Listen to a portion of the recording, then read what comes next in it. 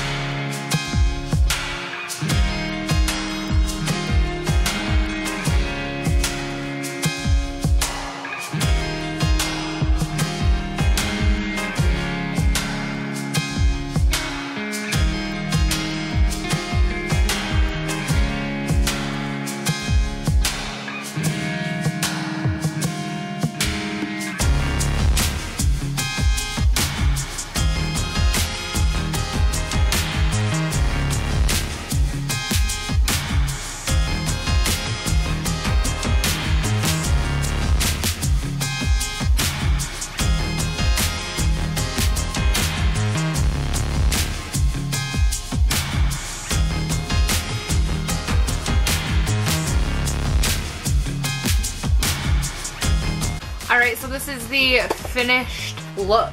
This is three of three. Hallelujah! Let me know what you think of these videos. They're fun to film because I can just focus more on like the look and versus like the, the chit chat and whatnot. But I think out of the ones I've done so far, this has been the most versatile. And we're officially through my Anastasia Beverly Hills category. I'm trying to categorize them a little bit just to keep myself focused.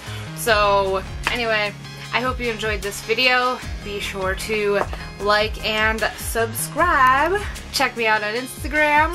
Wah, wah, wah. Anyway, and until the next one.